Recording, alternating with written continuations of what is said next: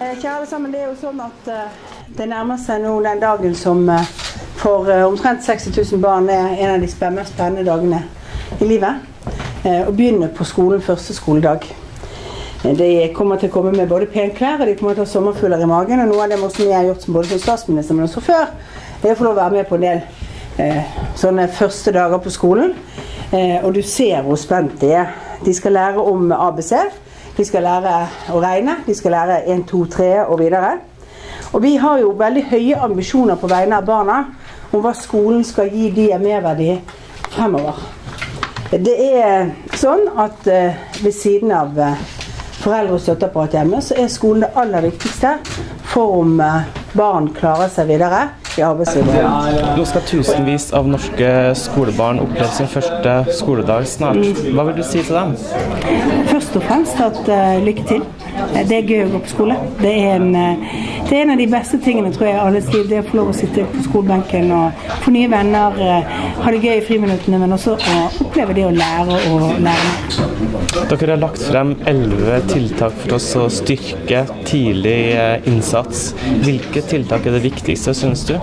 Altså det Sammenhengen i dette er at det er systematikk, at vi ser på alle sidene. For det er ofte sånn at ett tiltak i seg selv løser ikke alle problemene, men du må se flere ting sammen.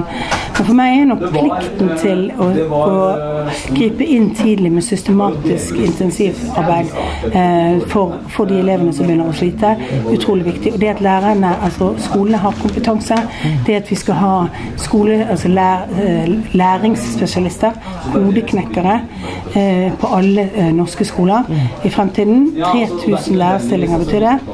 Eh, som har den typen kompetanse. Og fri, litt frie tidsressurser som gjør at de kan settes inn når, når arbeidet når, når man trenger å, å lage mer intensiv opplegg. Hvorfor valgte dere å komme til. Sunniva skole?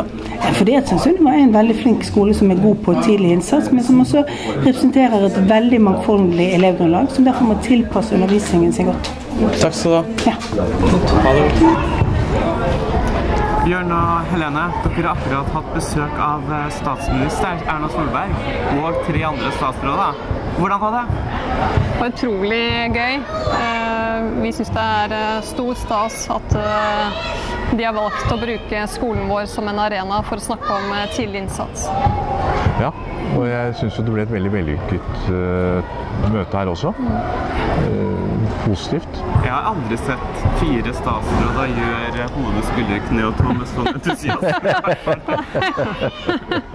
og dere fikk jo sånn skryt etterpå av eh, statsministeren også, Ja. som sa at eh, hun hadde valgt eh, St. Sunniva pga. at dere var så gode på tidlig innsats. Stem, Og det- er, det, er dere enig i det? Ja, vi er, eh, vi er gode på tidlig innsats. Og det gjelder ikke bare Sankt Sunniva, men det gjelder alle de andre katolske skolene i Norge. Handler jo om at vi er opptatt av å utvikle hver, eh, hvert enkelt barn, eh, uavhengig av hvem de er og hvilket faglig nivå de er på. Og det ligger jo i eh, verdisynet til skolen, altså skolens ideologi, om å ja, dette med menneskeverdet, at vi skal utvikle hele mennesket og se hvert enkelt barn, og at alle barn er like viktige. Og det handler om at vi er tidlig ute med krav og forventninger, og at vi følger elevene tett.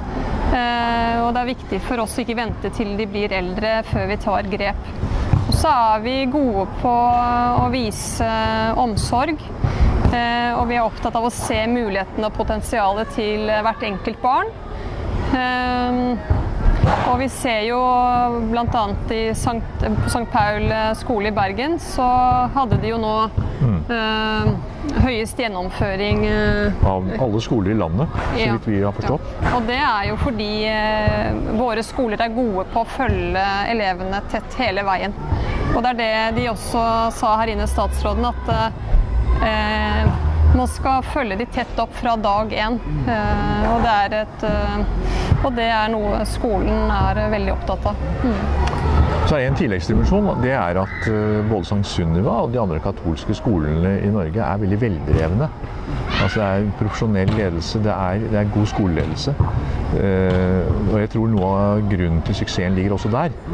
En ting er verdigrunnlag og det katolske, men man driver også på en veldig ordentlig profesjonell måte. Nå i disse dager så kommer det jo inn eh, hundrevis, tusenvis i hele landet av nye skolebarn som skal oppleve sin første skoledag. Hva vil dere si til eh, både disse barna og foreldre som nå går rundt og det kribler i magen og armer og bein? Nei, eh, først og fremst ønske dem hjertelig velkommen. Det er noe med å få en god start, trygge dem. Vise at vi bryr oss. Eh, Det handler om å få lagt en god struktur eh, og lagt gode rammer veldig tidlig. Eh, Og så vil vi selvfølgelig også snakke om at det er jo skole vi driver med, at det er læring i fokus. Jeg vil også si noe om hva skolen står for.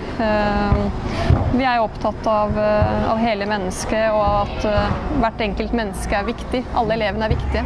Så det er også noe vi kommer til å signalisere. Jeg bare legge til det. Nei, jeg tror, og Min erfaring her på St. Sunniva er jo at eh, de elevene som kommer hit, de blir veldig godt mottatt. Og eh, det er, et, eh, det er et hyggelig miljø. Og det er også noe av det som er viktig for at elever skal lære å trives, er jo at det er et godt miljø. Og eh, Det var jo et tema som også ble tatt opp på pressekonferansen, dette med mobbing i skolen.